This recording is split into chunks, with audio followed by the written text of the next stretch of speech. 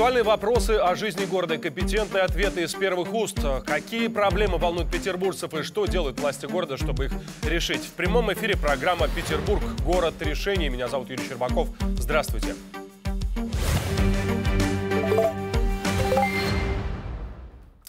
Год назад, 5 марта, в Петербурге был официально зафиксирован первый случай новой коронавирусной инфекции. Насколько оперативно система здравоохранения перестроилась на борьбу с ковидом? Какие решения и почему принимали городские власти и региональный Роспотребнадзор?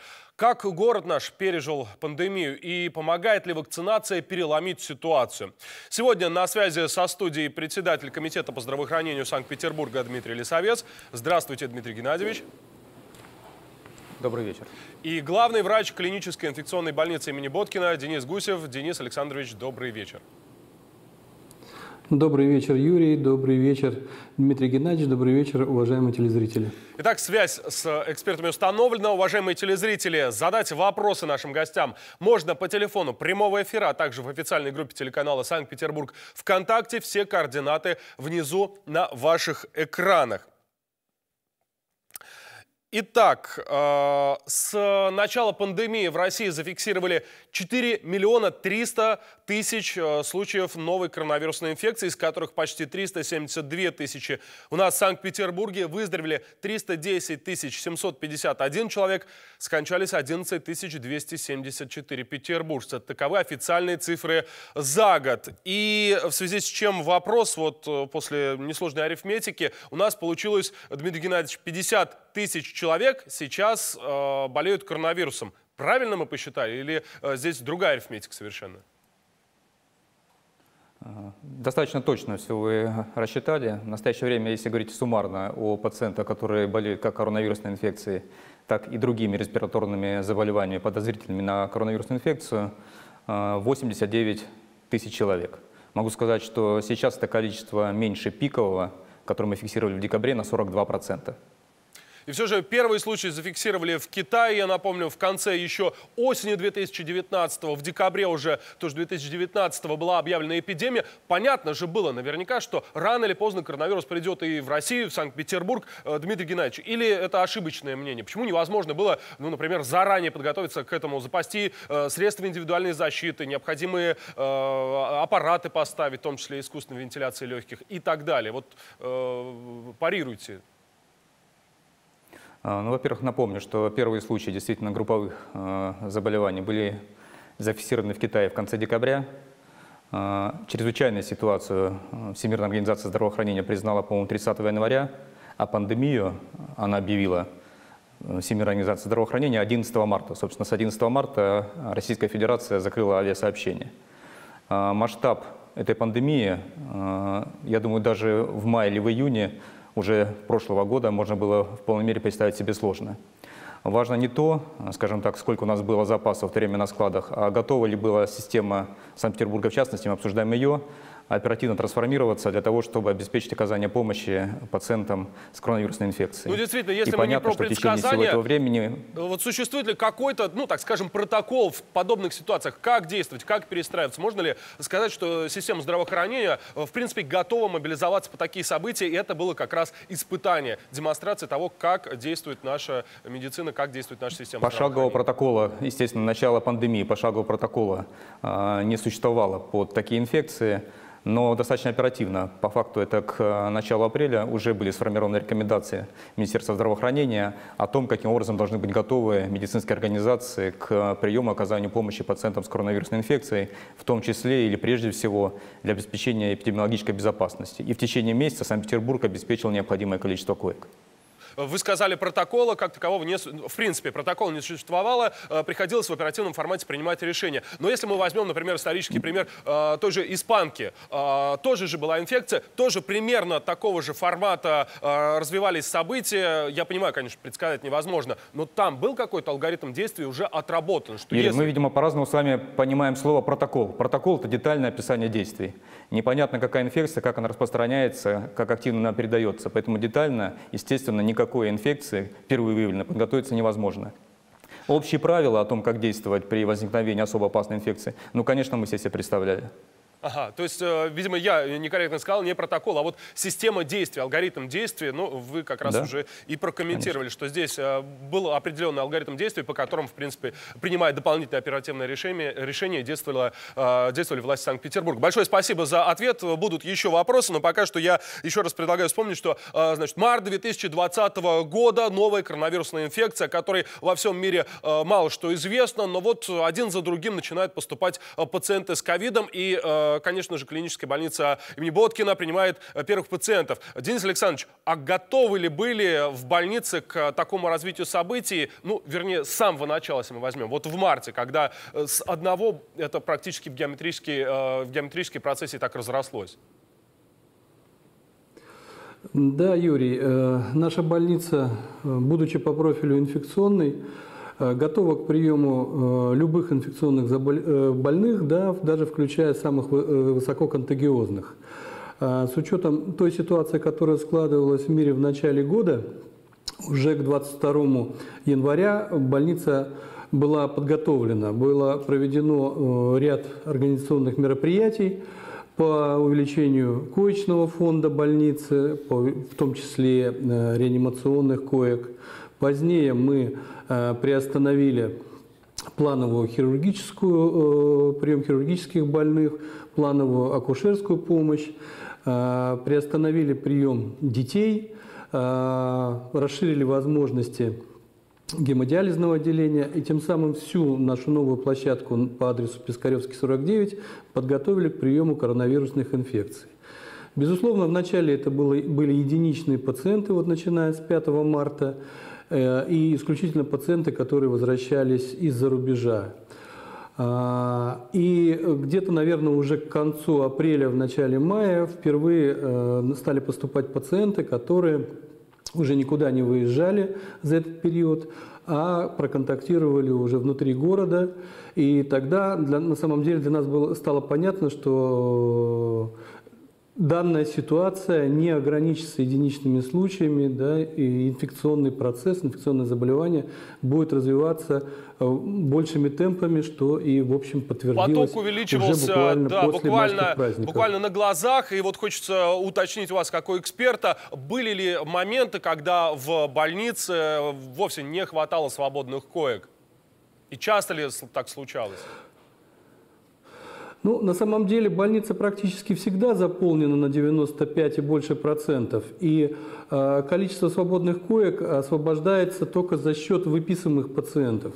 И мы старались э, в день выписывать порядка 10 процентов общего количества пациентов, и буквально в течение буквально следующего дня эти э, э, освободившиеся койки занимали новые пациенты.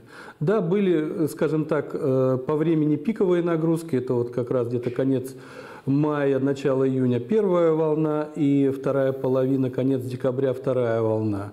Но еще раз говорю, мы максимально имели возможность выписывать пациентов. Дальше у нас была возможность переводить пациентов, которые э, имели улучшение течения заболевания, э, на долечивание и э, в Линэкспо прежде всего что тоже позволяло освободить дополнительный коечный фонд для тех пациентов, которые нуждались в госпитализации. Можно ли сказать, что поступали в больницу наиболее тяжелые случаи? Ну, на самом деле легких пациентов у нас э, нет. Э, в основном это пациенты среднетяжелые и тяжелые. Ну, соотношение такое, что тяжелых пациентов от 25 до 30 э, процентов да, от общего количества больных, получающих терапию. Э, вот из общего количества такие цифры. Но среднетяжелые тоже бывают разные. Да? Среднетяжелые могут ближе к легкой форме, но в основном наши пациенты, они все ближе, даже если среднетяжелое течение, но ближе к тяжелому. Большое спасибо за ответ. Ну, еще раз я напомню, что 5 марта 2020 года поступил э, в Боткинскую больницу первый пациент. Сегодня общее число инфицированных ковидом, кого приняли э, врачи и клиники, приближается к 11 тысячам человек. О специфике работы от первого зараженного и до наших дней в материале Кирилла Родиона. Первым пациентом, кто был доставлен на лечение в Боткинскую больницу с подтвержденным коронавирусом год назад, оказался итальянский студент-медик. Он приехал учиться в институт имени Мечникова. Поступил к Владимиру Капацине. Заведующий шестым отделением особо опасных инфекций вспоминает, сомнений, с чего начать лечение, тогда не было. На тех туристах и иностранных гражданах, которые возвращались с симптомами острых респираторных заболеваний, уже была отработана маршрутизация пациентов. То есть мы были готовы к тому, что с дня на день это начнется, потому что по стране стали фигурировать уже сообщения о том, что выявили в Москве уже были. Так что это было в полной в состоянии полной готовности. Как стало понятно позже, иностранец перенес заболевание в легкой форме и выписался уже через две недели. Как признаются врачи, своих первых пациентов помнят по имени, но это длилось недолго. Уже через месяц число заболевших стало расти в арифметической, а затем и геометрической прогрессиях. До сих пор нет одного сценария, по которому лечат от коронавируса. В Боткинскую, как правило, поступают люди с множеством хронических заболеваний. Поэтому в больнице исповедуют главный принцип – лечить пациента, а не болезнь. В том числе и тех, кто готовится стать мамой. Кто-то беременный приходит и беременный уходит, кто-то беременный приходит, мы род разрешаем, уходит с ребеночком, да. Но все ситуации индивидуальные, и все по-разному происходит. Всего за время пандемии в этих стенах излечились 700 таких пациенток. Общее же число всех госпитализированных в клинику с коронавирусом за год приближается к 11 тысячам. Ну и э, есть еще один вопрос, Денис Александрович, вам, который хотелось бы задать. А попадали ли э, угу. в стационар пациенты повторно? Ну, скажем, перенесшие ковид в первую волну, они уже э, во вторую волну возвращались осенью. Есть ли какая-то статистика на этот счет? Вы знаете, э, Юрий, на самом деле таких пациентов, которые как бы два раза э, инфицировались ковидом, да, э, наверное, нет. Да, были пациенты, которые повторно поступали через какое-то время, но это были прежде всего пациенты с, либо с антибиотикоассоциированным поражением кишечника, так называемым псевдонозным колитом, и псевдомембранозный колит достаточно тяжело протекал у таких пациентов. Это был тот период, когда и это не обязательно пациенты первый раз лежали у нас, они лежали во многих стационарах. Когда а, по тем же временным методическим рекомендациям да, назначались антибиотики. И вот после такого массивного приема антибиотиков у пациентов развивалось это поражение кишечника. А пациентов с э, повторным заражением мы в своей клинике не наблюдали. Мы видели пациентов с повторным заболеванием на фоне одного и того же заражения. То есть когда ковидная инфекция принимала волнообразное течение. Такие пациенты были, но тоже их было на самом деле немного, буквально там в районе, может, 10-15 человек. Корректно ли сказать, что, например, я переболел э, коронавирусом, получил отрицательный результат и впредь могу не бояться, что я выздоровел и больше не заражусь, потому что у меня теперь есть антитела? Как вы считаете? Если, если у вас э, действительно в крови циркулируют антитела в хорошем э, титре, да, вы не заразитесь повторно и не заболеете. Ну, просто нужно периодически проверять э, организм на антитела, на их количество, наличие. Безусловно, безусловно. Угу. Большое безусловно. спасибо. К сожалению, да. да. Ага. Я просто хотел добавить, что, к сожалению, да, не всегда, особенно у пациентов, которые легко перенесли коронавирусную инфекцию, длительно сохраняются антитела в высоком титре. Да, поэтому действительно, как вы правильно заметили, нужно периодически на них смотреть, проверять титр этих антител. Большое спасибо за совет. Но еще интересно относительно э, больницы имени Боткина. Много ли изменений в стационаре произошло за время пандемии? Э, причем я не только про э, бесценный опыт, но и про те технологии, то дополнительное оборудование. Поступало ли оно, необходимо ли оно было? Безусловно, безусловно, поступало достаточно большое количество нового оборудования. Это и лабораторное оборудование. Э, закупались э, автоматические пробоподготовщики для ПЦР-анализа, э, закупались автоматические анализаторы, бактериологические анализаторы – а, кислотно-щелочного состояния анализаторы мы тоже покупали. И поскольку мы доразворачивали реанимационные койки, в настоящее время у нас 40 реанимационных коек, естественно, покупалось все оборудование для этих новых коек в реанимации. Это и аппараты ИВЛ, и мониторы, и инфузоматы и так далее, и так далее. Кроме того, для оказания помощи в боксах для пациентов были закуплены мобильные рентгенологические аппараты, переносные аппараты УЗИ, что тоже очень важно. И были закуплены три аппарата для продленной гемодиафильтрации, которые, в общем, нам позволяют, скажем, помогать самым тяжелым категориям пациентов. Ну и, безусловно... есть, действительно, да. большое количество оборудования было закуплено. Ну и, безусловно, я думаю, вы согласитесь, как и многие специалисты, что тот бесценный опыт, который был получен э, в течение обеих волн, он э, поистине важен и э, нужен для решения аналогичных проблем, которые имеют место быть в нашей жизни. Но вот если, Дмитрий Геннадьевич, мы обращаемся к вам относительно волн пандемии, да, первая, вторая, вам какая показалась наиболее сложной и психологически, и технически. Первое, потому что это было, ну, буквально как снег на голову, внезапно так все, да, и развивалось, никто не мог предсказать. Или же все-таки вторая, которая по количеству зараженных э, была гораздо больше первой? Естественно, первая волна, я думаю, не буду оригинальным, для каждого из тех, кто э, был вовлечен в борьбу с ней, была наиболее тяжелой, потому что фактически приходилось не только заниматься оказанием медицинской помощи, пациентам, но и э, мы столкнулись с инфекцией, с которой не имели никогда дела раньше. Это первое. И второе, приходилось э, фактически э, параллельно готовить систему к оказанию помощи, постоянно разворачивая, вводя в строй все новые и новые мощности. Ну и в том числе э, хочется отметить, что в первую очередь э, на передовой всегда были медицинские работники, которые рисковали и жизнями, и своим здоровьем, э, контролируя ситуацию с пациентами, которые к ним поступали. И вместе с тем я слышал, во всяком случае, об этом, что некоторые медработники, дабы не э, отвлекать, э, сами заражались, и дабы не отвлекать и без того загруженный медицинский сектор, э, ждали до последнего и уже в тяжелом только состоянии поступали. Много ли медработников в Петербурге переболели коронавирусом, Дмитрий Геннадьевич?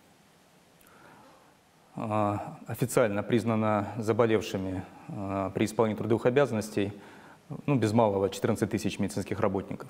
14... Это те, которые работают в городских учреждениях, да, а суммарно с учетом и федеральных а, учреждений, расположенных в городе, 16,5 а, тысяч. 16,5 тысяч а, медицинских думаю, работников пострадали в результате коронавируса, болели коронавирусом, так или иначе. А сколько специалистов Я а, имею в виду, погибли? что они заболели, исполняя свои трудовые обязанности. Естественно, заболевших медицинских работников больше, но часть из них могла инфицироваться так же, как и другие жители города, где угодно в бытовом формате. А если мы говорим про погибших, э, которые спасали жизни пациентов, э, и э, о каком количестве медицинских работников идет речь?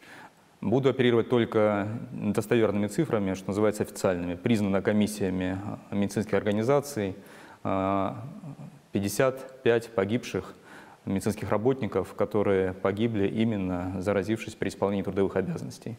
Понятно, что медицинских работников, которые умерли в Санкт-Петербурге во время пандемии больше, но точно так же они могли инфицироваться и бытовым путем. Но по каждому случаю, о котором становится известно Комитету по здравоохранению, правительству города, естественно, проводится детальнейшее расследование для того, чтобы никто из э, родственников умерших э, медицинских работников не остался без помощи. Ну вот, к слову, о помощи. Как обстоят дела с э, выплатами медикам и тем, кто пострадал, э, с, э, пострадало здоровье и те, кто погиб, их семьям?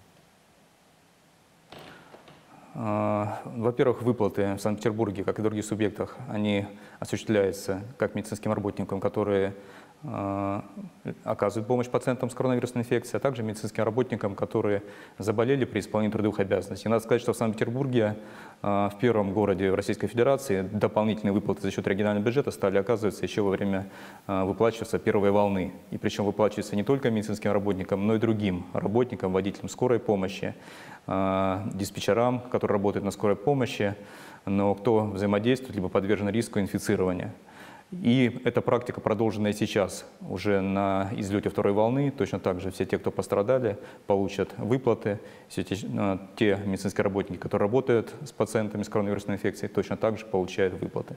Большое спасибо за информацию, Денис Александрович. Ну и э, перед э, небольшой паузой успеем еще вам вопрос задать. Денис Александрович, у вас все ли специалисты получили всю необходимую помощь? Э, много ли врачей переболело ковидом э, на, э, среди специалистов э, в вашей больнице? Ну, если говорить о врачах, то у нас на сегодняшний день переболело ковидом 173 врача. А, все медицинские работники, а, которым положены выплаты, все их получили в полном объеме. Каждый случай э, действительно был рассмотрен на комиссии, да, принималось комиссионное решение, и всем, кому было положено, были выплачены все необходимые э, финансовые средства. Большое спасибо за информацию. Я напоминаю, в прямом эфире программа «Петербург. Город решений». Стоит ли опасаться третьей волны коронавируса и насколько вакцинация может переломить ситуацию? Обсудим во второй части программы. Вопросы от зрителей ждем не только в официальной группе телеканала «Санкт-Петербург ВКонтакте», но и по телефону прямого эфира.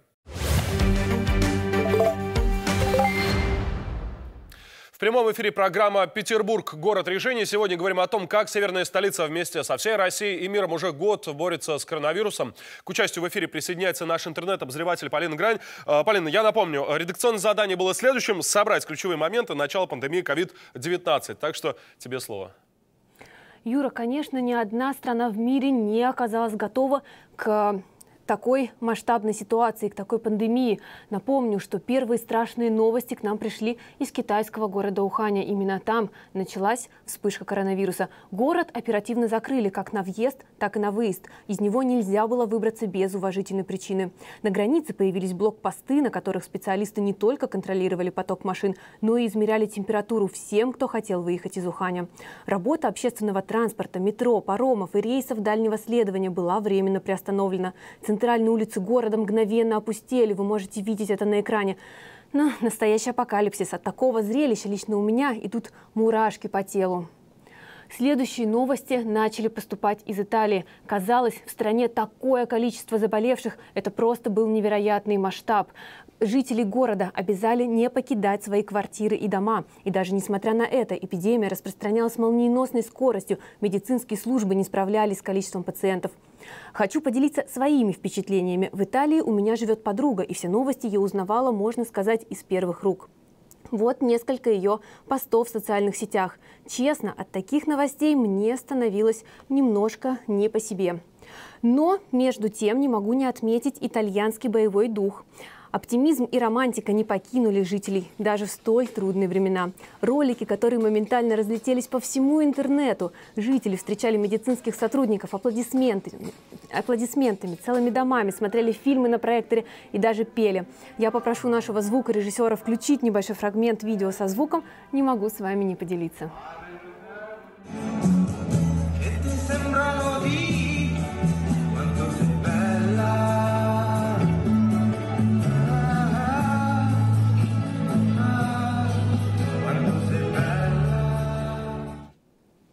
Хочу еще коротко сказать о приятном, а именно об ослаблении ограничений в других странах.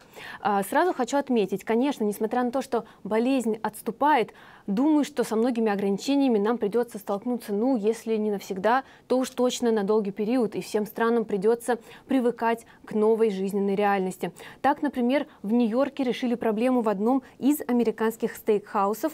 А, так он возвращается к новой жизни после коронавируса. Там появились вот такие восковые фигуры. Жители города могут пообедать с Одри Хёбберн, Джимом Феллоном и другими актерами, телевизионными знаменитостями. И даже сами звезды приходят в этот ресторан, чтобы пообедать с собой. Мне кажется, что это очень хороший способ поднять жителям, во-первых, настроение после тяжелого года, но, ну а во-вторых, таким образом ограничить количество мест и посетителей в ресторане и тем самым соблюсти социальную дистанцию. Кстати, вернусь немножко в Ухань. Между прочим, спустя 9 месяцев после полного локдауна город объявил о победе над коронавирусом и снова начал жить полноценной жизнью. Там открылись кафе, рестораны, кинотеатры, снова заработал общественный транспорт, начали работу продуктовые рынки.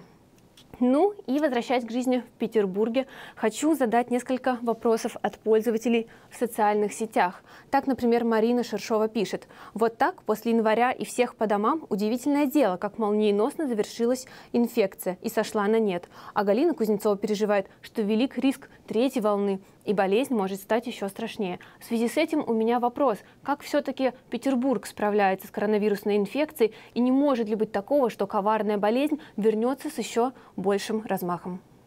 Большое спасибо за вопрос. Я думаю, что мы его зададим буквально через несколько минут, э, сразу после того, как примем э, телефонный звонок, который поступил во время э, прямого включения. Относительно выплат я попрошу наших режиссеров вывести. Ну и пока подготавливается этот звонок, хочется отметить, что в Петербурге продолжается вакцинация. Вторую часть как раз нашего эфира мы посвятим вакцинации. Ну, пока подготавливают звонок, все-таки, Дмитрий Геннадьевич, давайте ответим на вопрос пользователей социальных сетей. А, успешно ли Петербург справляется с коронавирусом? Или все-таки стоит а, опасаться возвращения коварной болезни, я так предполагаю, третьей волны? Вот о ней речь, потому что в некоторых странах уже называют, наступила третья волна. В Петербурге насколько возможна эта ситуация?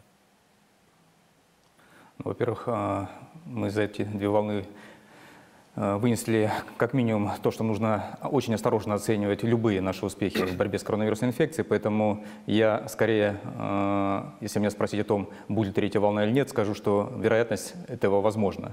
И, собственно, поэтому, опять же, возвращаясь к тому, что наиболее эффективным способом для профилактики является вакцинация. И мы видим, что э, в некоторых странах Европы все-таки есть повышение заболеваемости. Связано ли это с новыми э, типами вируса, либо все-таки с активацией уже э, фиксируемых э, генотипов, сложно сказать. Но как бы то ни было, лучше в данной ситуации, э, скажем так, принять чрезмерные меры, чем что-то не доделать.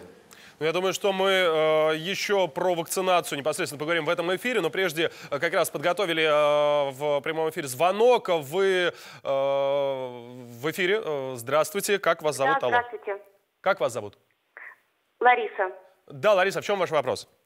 Мой вопрос состоит в том, хотелось бы прояснить ситуацию с э, выплатами 300 тысяч переболевшим медикам.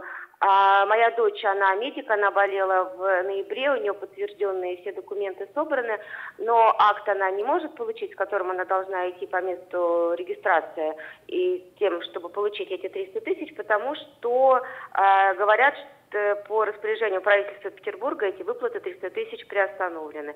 То есть ей сейчас э, обещают выплату 68 тысяч, те, которые ФСС платит. А, и она не одна такая, то есть эта ситуация, ну, то есть много медиков, да, которые переболели в ноябре и декабре, и документы сдали в январе, соответственно, да, то есть и им пока не подписывают их. Ситуация ясна, Лариса, а какое да. медучреждение, какая больница?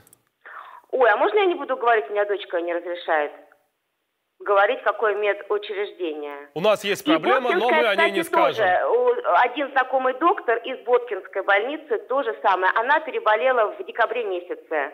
Вот. Угу. А, так, а, Дмитрий Геннадьевич, можете прокомментировать эту ситуацию? Ну, как минимум, а, я для себя понял, что людей, которые переболели, есть все бумаги на руках, что они заразились, переболели именно в формате медицинской предоставляемой помощи, когда сами предоставляли эту медицинскую помощь. Но говорят, что никаких 300 тысяч, сейчас на паузе, вот максимум 60. Это что-то некорректно э, человек понял? Или Я, конечно, могу пояснить. Нет, все понятно. Все понятно, о чем спрашивает. А, во-первых, а, все те медицинские работники, вне зависимости от того, когда они заболели, в прошлом году или в этом, те деньги, которые получали в прошлом году, получат и в текущем. Суть связана с тем этих задержек небольших по продолжительности единственно с тем, что нормативный акт Санкт-Петербурга, а, на основании которого осуществлялись выплаты, в конце года закономерно закончил свой срок действия. Поэтому сейчас принимается новый, и та практика, которая была в Санкт-Петербурге, она возобновится. Повторюсь, все те медицинские работники, которые при исполнении своих трудовых обязанностей э, заболели, э, получат выплаты в зависимости от степени тяжести заболевания. Ну и фонд социального страхования, как правильно отметила мама заболевшего медицинского работника, они также продолжают те выплаты, которые были и в прошлом году.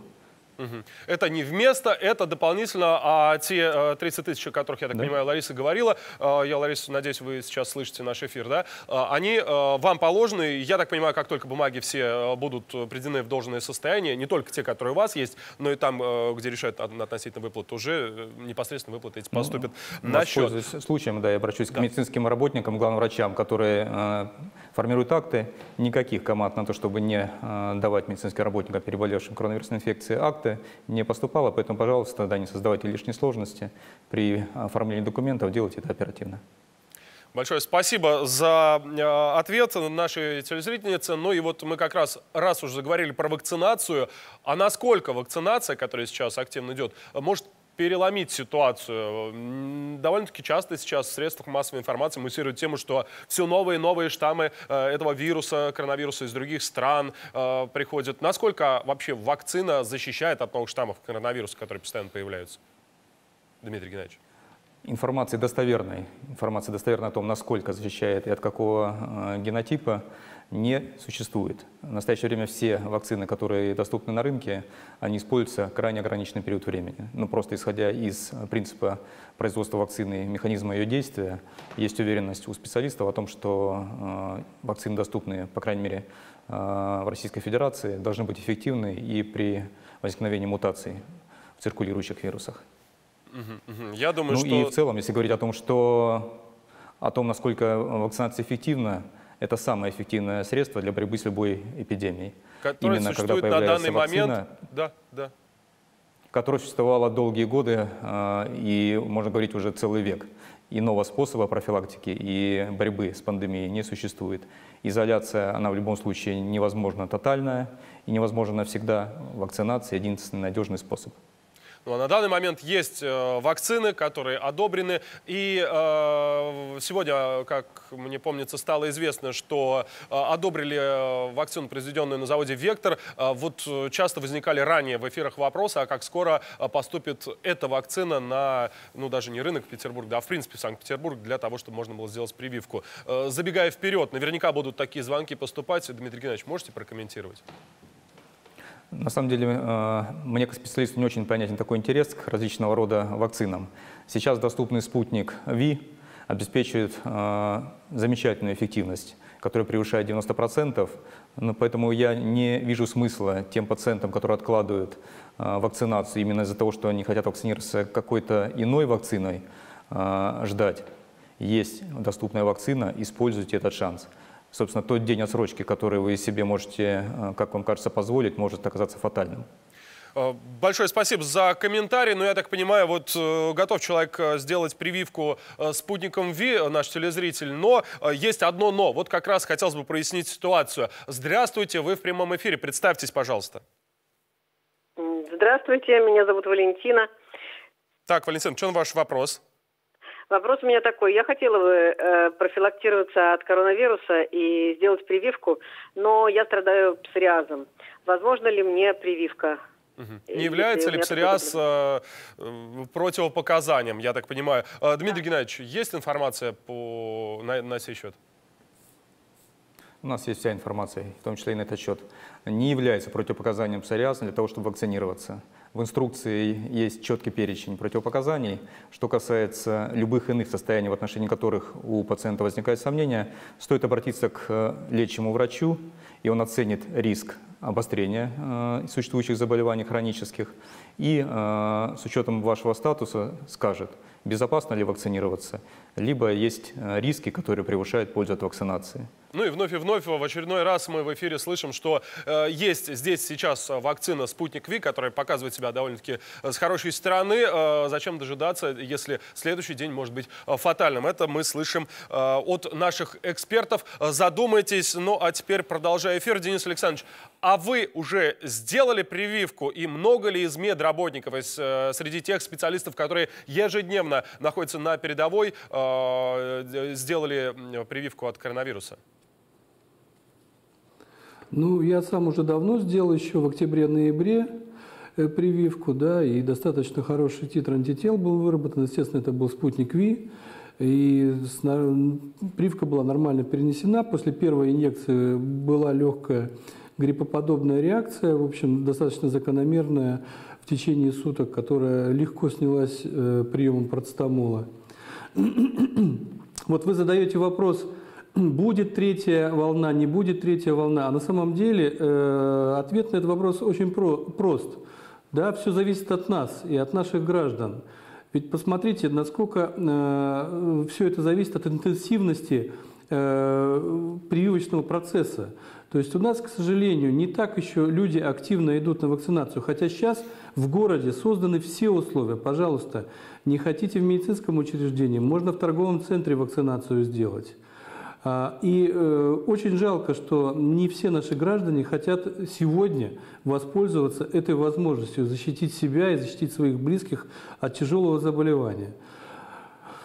Э, мы смотрим на опыт зарубежных стран, как э, интенсивно прививаются в Израиле, в Соединенных Штатах Америки, да, и э, всегда очень обидно, да, когда я спрашиваю наш вакцинальный кабинет, насколько большая, ну, как люди записываются, насколько интенсивно на вакцинацию. Если раньше это было на 2-3 недели запись, то на сегодняшний день это 2-3 дня. Понимаете? То есть э, вот за что обидно, то что при всех возможностях вакцинироваться люди пока еще э, до конца для себя не решили, что это нужно сделать.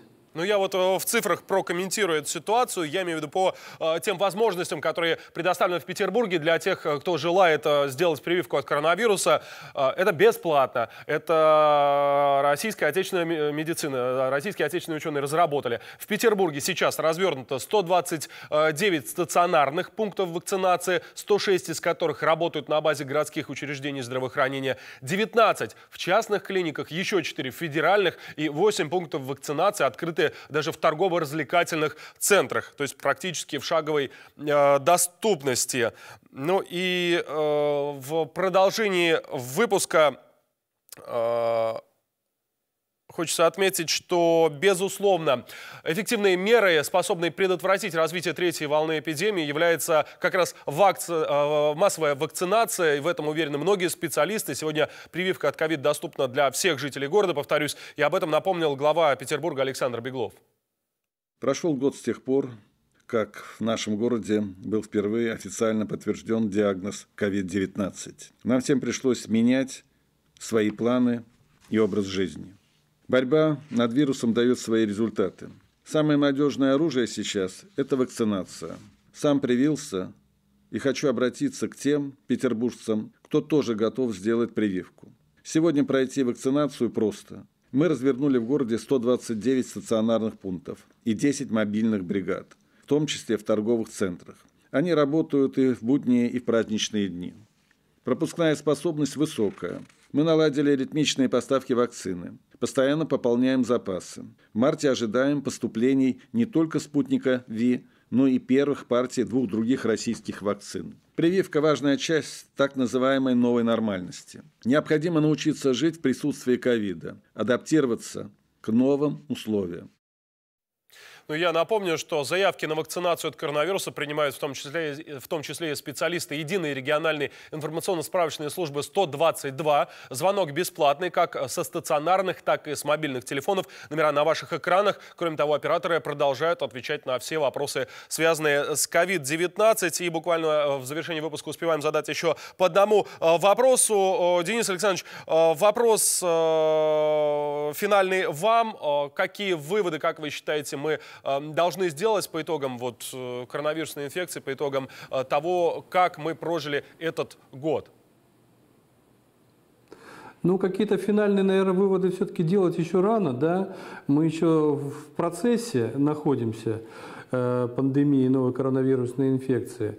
Сейчас, на сегодняшний день, вывод очевиден. То, что чтобы продлилась вот эта долгожданная тенденция к снижению второй волны и не было э, новых подъемов заболеваний третьего, четвертого и так далее. Нужно как можно быстрее массово привить наше население, да, чтобы иммунная прослойка была существенная. А, она будет суммирована с теми пациентами, которые уже переболели, и э, когда эта цифра общая людей, которые будут иметь иммунитет, либо приобретенный, либо после перенесенной инфекции, будет составлять порядка 80-85%, тогда уже э, эта проблема будет для нашего города решена. Поэтому на сегодняшний день только массовая вакцинация. Только массовая вакцинация. Это помочь. мнение эксперта, да. это мнение главного врача клинической инфекционной больницы имени Боткина Дениса Гусева. Ну а пока коллективный иммунитет в Петербурге не сформирован, вакцинация продолжается, остаются и некоторые антиковидные ограничения, действующие в нашем городе. А, губернатор Петербурга Александр Беглов внес изменения в постановление номер 121, вот копия этого постановления о мерах по противодействию распространению в Санкт-Петербурге новой коронавирусной инфекции. Э, документ опубликовали сегодня на сайте Смольного. Соответственно, в нем э, следующие пункты. Э, до 28 марта продлевается ограничение на проведение публичных мероприятий, деятельность ночных кабаре, клубов, дискотек. Вместе с тем, по 28 марта продлевается обязанность самоизоляции для лиц старше 65 лет и лиц, имеющих хронические заболевания, а также перевод этих лиц на дистанционную работу. Ну и буквально полминуты есть для того, чтобы принять последний звонок в прямой эфир. Здравствуйте, представьтесь, пожалуйста. Меня зовут Гали. Еще раз Галина. не расслышал. Я из Сестрорецка. Так. Я, я Галина, хотела, ваш вопрос. Я бы хотела спросить, я не знаю, переболела я коронавирусом или нет. У меня пропало обоняние, и вот я хотела бы сделать прививку, но я ее сделать не могу потому что я не знаю, переболела я или нет, что должна я для этого сделать. То есть есть некоторые волнения, да, э, если не переболели, наверняка надо сделать, если переболели, есть ли смысл. Э, Дмитрий Геннадьевич, в завершении выпуска успеваем Галине дать какой-то важный совет, я думаю. Э, соответственно, обоняние, кажется, пропадало, но вот сейчас как поступить в этой ситуации? Если нет подтвержденного факта перенесенного заболевания, соответственно, идти и прививаться, идти и вакцинироваться. Если то состояние, о котором говорила телезрительница было более двух недель назад. Угу. Большое спасибо, Галина. Я думаю, что этот ответ э, вам э, даст понимание, как поступать в данной ситуации. Ну а 40 минут, отведенные на программу «Петербург. Город решений» пролетели. Что успели вам рассказать? Рассказали. Все это время на связи со студией были председатель комитета по здравоохранению Санкт-Петербурга Дмитрий Лисовец и главный врач клинической инфекционной больницы имени Боткина Денис Гусев. Уважаемые эксперты, благодарю вас за уделенное время. Спасибо за внимание и вопросы нашим телезрителям. С вами был Юрий Щербаков. Берегите себя.